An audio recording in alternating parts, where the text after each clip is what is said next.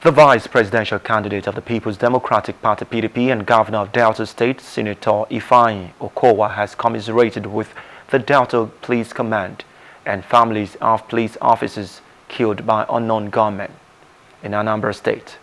According to a statement released on Saturday by the Delta State government, the officers Inspector Lucky Ale, Inspector Celestine Mwadioku, and Inspector Jude Obo were attached to the Explosive Ordnance Disposal EOD unit in Government House, Asaba.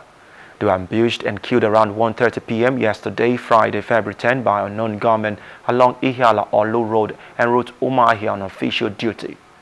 Delta State Commissioner for Information, Mr. Charles Aniagwu, who briefed journalists on the sad incident, said the late officers would be greatly missed for their contributions to the peace and development of Delta.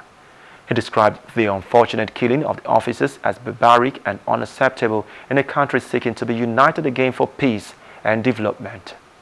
It's most unfortunate that these are gallant officers, just like many others who have also lost their life in the past, have lost their life on account of these activities of uh, individuals who today now describe themselves as unknown gunmen.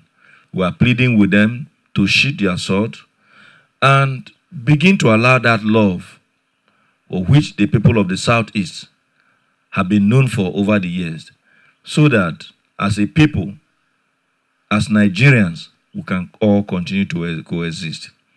We pray the good Lord Almighty to accept the soul of these our loved ones, three of them, that have passed on due to no fault of theirs. We also pray that God give the family, their families the fortitude to also bear this irreparable loss, even as we seek justice on their behalf, both as a government, as a state, and as a, as a people.